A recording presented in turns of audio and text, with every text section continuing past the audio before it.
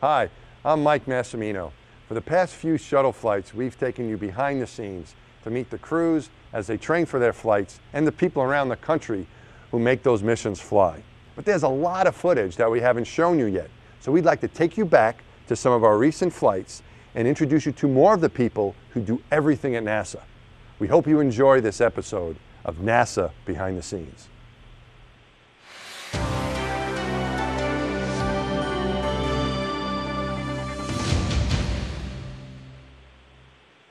So you've hung up their clothes, their spacesuits. Here they are, all seven of them. You can see with the flags on the left side, including the Japanese flag for Naoko.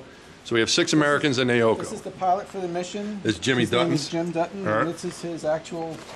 This is the actual suit he will fly in. Right. And it, it has been prepped and, and leak checked in Houston. And then after we arrive here, we do another leak check here. And then uh, on fit check day, Jim gets in the suit and he makes sure it fits. When was that? That was- That was on. That was last night, as a matter Last of fact. night, okay. Yeah.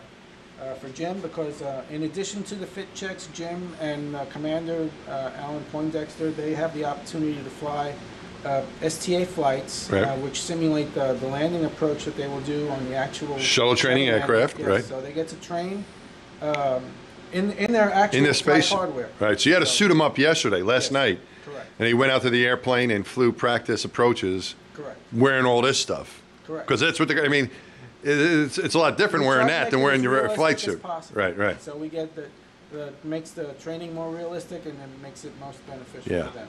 Having the helmet on to restrict their, what they can see and the gloves on his hand to, on the controller and all that. down, go on oxygen supply. The whole bit, just like they're gonna do on the shuttle. For, just for. All right. This is the pilot's actual flight helmet. This is the real helmet, This is his real not the ones we helmet. practice with in Houston. Correct. This is the one that he's actually going to fly with. Although for training purposes, we install uh, a training sunshade just to keep, protect the, the clear visor. We don't want him to scratch the clear visor. So uh, on flight day, we will remove this sunshade, install a, a brand new sunshade. But the, but the helmet itself is, uh, is just as you see it here, it will fly in space. All right. The real thing. These are his actual flight gloves. They've already been leak tested, and he wore them last night on his, uh, on his flight training on Mhm. STA. And this is his com cap, which is worn inside the helmet. This is, this contains the microphones and earphones that, uh, he will use to fly, uh, on launch day. All real stuff. Now, one, th- one interesting thing here, uh, Ray, we've, we've seen this other times too, is that each crew member has a color. So we know it's whose stuff. And so Jim being the pilot, right, John, is going to be, Jimmy's going to be uh, Yellow. So his bag has yellow on it.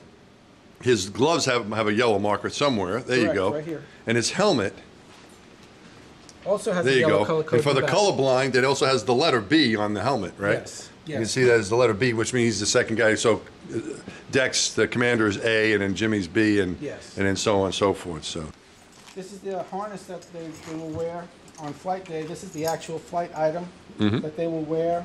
Uh, it has a parachute harness that they will connect to their parachute. The and this is parachute Dottie's stuff, I see, because it's green, Yes, right? And she's the MS2. correct. She's- All right, all right. She's green. Okay, uh, so- and uh, the, So you were saying the- parachute is in the Yep. orbiter. Uh, the actual flight parachutes are not here. Mm -hmm. Although Oh, okay. we do have spares, and I can show you one of those. Okay, But uh, but that's the harness that you were saying. that, that Dottie will wear Okay, we should- on all right. launch day. on launch day, and it con- contains uh, a number of uh, emergency equipment items that Right. uh, she will fly with, and hopefully not need, but she will have it with her just in case. Right. And What's she I- got? I can show you a couple of those. Yeah, show us what you can. Uh, she has an oxygen bottle that that sh- that contain uh, a minimum of 10 minutes of, of pure oxygen. All right. She has uh, a life preserver, so in case something happens and they can't make it back to the landing site, they have the capability to bail out over open water. Mm-hmm. And uh, we have a life preserver that's built into the harness here. Mm-hmm. And uh, we also have uh, uh, water packs.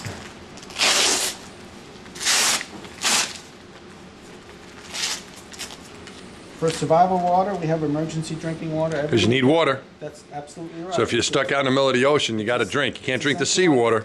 Correct. You got to drink that stuff. It, it could be a little while before the rescue forces come and get her, so she needs a little something to drink. It's, it's absolutely important that Mm-hmm. Yeah. she has that. But there are rescue forces out there ready to come get us. Or come Absolutely. get these, you know, we're, and it should be pretty quick, right? But Hopefully it may take a while. It'll be the open ocean, but there are people ready to come get us if we need every, it. every astronaut carries uh, an emergency beacon so Mm-hmm. they can be found rapidly, and they also have the survival radio so they can speak directly to the rescue forces. Right. Uh, absolutely essential items uh, for, for emergency only. Right, all right. What's that blue thing you just put on there? This is a, a comfort pad. Every astronaut has a, a comfort pad that they wear on the back because they're going to be, the long, since they're launching in the vertical position, they're going to be laying on their backs for, Right. for a couple of hours. It's, it's sometimes it's not easy, but uh, this, this back pad uh, makes it a little more comfortable so they don't, uh, they can concentrate on their jobs and not concentrate on the, on, Right. on the pain that they're having in the shoulders. This is what you guys wear. This is what we wear on launch day. All right, that's John's. That'll All right. be mine, yep. All right, now what? It, explain some. This is not your usual set of clothes. So, what are the, some of the interesting uh, characteristics of this of this fancy uh, jumpsuit you got there? Well, besides the fact that it doesn't fit very well, but it is kind doesn't. of comfortable. All right. Uh, the reason why uh, it has all the green stripes on here, these are Mm-hmm. pull strip, uh, pull tapers. So we Okay. can just grab it and pull if we're down, or let's say an accident happened on the pad and we need to get Yeah. out of there. Your friends or colleagues can grab you and drag you away from any danger that you have. Okay. The reason why we have numbers on these is so the uh, LCC, the Launch Control Center, and NTD. who NTD we is are. uh, NASA test director. Right. The person who's kind of running the show. Right, they're The the ones launch. that direct us to do certain things Right, up okay. there on the, on the Right. pad. But they need to know who we are, and since our name tags are really small and some, we don't have one on the back, Right. they need to know really quick who we are. So we have numbers back there, and each number designates who you are and what you do up there on the pad. It's like a ball player. Exactly. Yeah. So like a number three is a, a suit tech, and he works on the mid deck. He'll be strapping in the mid deck. Ah. Uh, you have a number one who's an OBCC, the Orbiter Vehicle Crew Chief, mm-hmm. and he, he's the one that's overall in charge of the, all the closeout crew. All right. The number two is an astronaut or an ASP, as we All call it. That's ASP. Astronauts, because that's astronaut, Astronaut support, support personnel.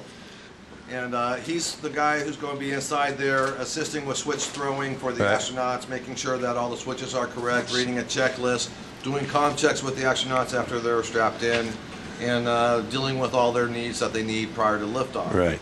Uh, the number three will be in the flight deck, strapping in the pilot, commander, MS1, and MS2. That's you. And that would be me on this flight. All right. Uh, the four and five, they're the hatch techs. They're the ones that will be closing the hatch. Ooh, they got to close the door. They door. got to close the door. Do they have the key as well? They, they should They have lock the key, lock the right. door? They All got right. somewhat Okay. of a Right. key. Okay. Uh, the number 7 is uh, another suit tech, and he's strapping in the mid deck, which is MS five, six, and seven in this Right. case. Right. That will be Ray Cuevas. That's right, right there. Right there. All right.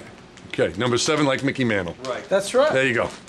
And then the number six, which who I forgot, is the NASA quality. He's the one that's making sure all the paperwork and all the jobs are done to the checklist. So All right. Those are the seven people on the pad that you'll see in the white room. In addition to the spacesuits, we also prep uh, all, some miscellaneous things so they can have it right there handy on launch day. So, um, right. if, whatever So he's you know. so he's got. So let's let's look what he's got. Let's look a little closer here because we've got uh, we've got some cool stuff here. You, this is going to be on his. It's a strap like this, so it goes on his leg, right? Yes, it goes around So that's his going to leg, strap around his leg. We call it a knee board because it's Yes. kind of on your knee.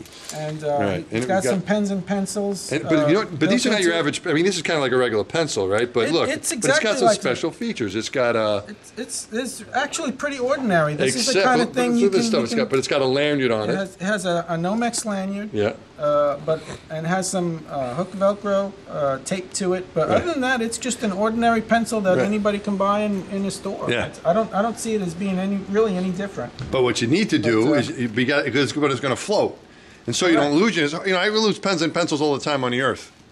You know, in space, it's, it's, it's easier to lose it because it's going to float away from you. So you have it on a lanyard, you know you can't, you can't lose it, and you have the Velcro so you can stick it to another pe- uh, matching piece of Velcro so that it'll stay put, so. That's one of the, Yeah. the first things astronauts learn is that things, things float away by themselves. Right. They, they learn in training and, and the- through the experience of others to, to Right. and tether things down so they don't move. But it really becomes obvious when you get there and, and your stuff's floating everywhere. Yes. And you got a flashlight as well, Yes. and uh, that flashlight, of course, is on a lanyard this, with This flashlight is, is basically the same type of flashlight that you can buy in a store, but it has an extra feature built into it. Uh, we've replaced the, the normal cap that goes on the back of the, the, the flashlight Right. with a special, specially made device that's used to pull on circuit breakers. So Yeah. he can he can take this flashlight and not only use it as an ordinary flashlight, he can turn it around, Yeah. use the back it end of the tool. flashlight as a tool Yeah. to throw switches, pull on Yeah. circuit breakers, Yeah. and uh, a couple of other miscellaneous things that you can use this. this It's a very good idea. Yeah, it's a it's a two-in-one thing, and uh, and it works very well, and it's Yeah. And it's easy to use, and it's it's always there. So Right. it's, it's why that's why it's so popular. And the gold clips. The famous gold clips, yes, Yeah. these are just ordinary uh, paper clips. Uh, uh, with all the computer technology that we have, we still have lots of paper floating around. They Yeah. have a lot of paper instructions, paper procedures, and they need uh, they need paper clips in space just like we do here on Earth. So, Yeah. and uh, this is what they use. They have Velcro on them, so they can attach them to a wall and they won't float away. And uh, they're nice and big, so they can hold lots of lots of paper. Yeah. And uh, the astronauts uh, uh, use these very, very frequently. Yeah.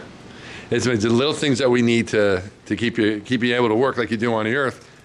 So stuff don't float away from you. You know, you can keep track of what you're doing. All that stuff is very important. Correct. We take lots of that stuff. Lots of that stuff. right, what else we got, Ray?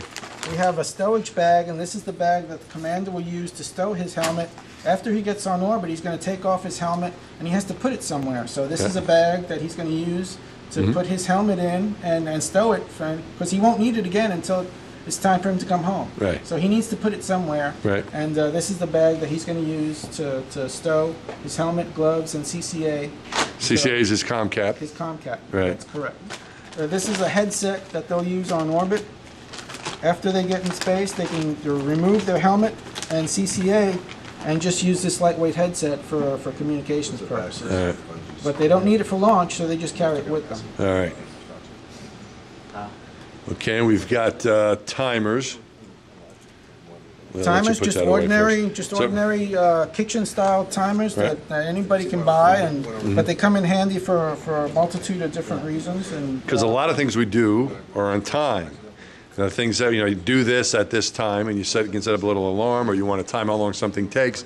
Because you know, do something and 30 seconds later do something else. You have uh, all these little timers to help you do that. Correct, and it also, excellent. in addition to the time, it also has a clock built in, so you can use that as a, See what as time a it watch. So you know what time it is. Correct. All right. And then you've got your, uh, so you have a mirror Mirror, as well. the mir- commander has requested a mirror, and we will stow this in the orbiter for him. Right. And uh, the mirror comes in handy because after they get in their seat, if they drop something, they can use the mirror to go To and see look where, for it. yeah, he's not necessarily, he probably doesn't need that because he wants to, you know, he's worried about his appearance. No, no, He's not at worried, he's, it's a useful It's- tool it's a because, useful tool. because you can't see so well around the helmet, so you need a mirror to show you what's going on behind needs you. the mirror to- Or to get some of the switches too, I bet you behind him that he can't see necessarily that. Absolutely. Kind of over his shoulder, he can use that mirror to make sure he's got his hand in the right place.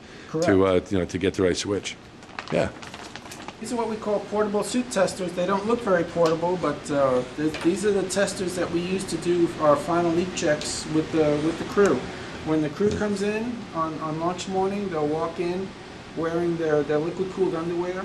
They'll they'll be suited right here in this room, uh, in this chair. So this is one of the big in this chair. chairs. Yeah, How long have they used these chairs for? Did Neil Armstrong sit in that chair? Chair. Uh, I, I, I don't think Neil Armstrong did, but I'm, I'm he was willing in to this bet room. that John. He was in Glenn- this room. Yes, the, the, ast- So- the Apollo astronauts did suit up in this room, but So- the configuration of the room is very different. So before, let's just get this straight.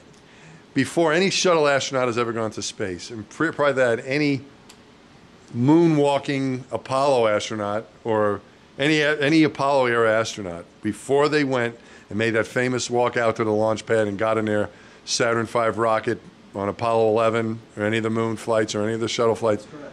they were in this room. This, this same very. In this room is where where the As where the day fact, started for them. If you look over here on the wall, we don't use these connections anymore, but That's the reason for these extra pipes here. They used to have the test stands built into the wall here. Uh-huh. And uh, the Apollo astronauts had, uh, had, had couches, and this wall did not exist. I was told that this wall, That wall was there. much bigger then, but uh, Okay. The, the, test equipment was hooked up to those bulkheads there. And, Okay. uh, but this, this whole facility was used for the same purpose it's being used now. So they all came in here. Neil Armstrong, Neil Buzz, and Mike Collins were all in here getting ready to go to the moon uh, on Apollo 11, just like uh, shuttle astronauts today get to come into this room and That's right. on the, the morning of the launch and get ready to go. Pretty historic, wouldn't you say? Pretty cool room.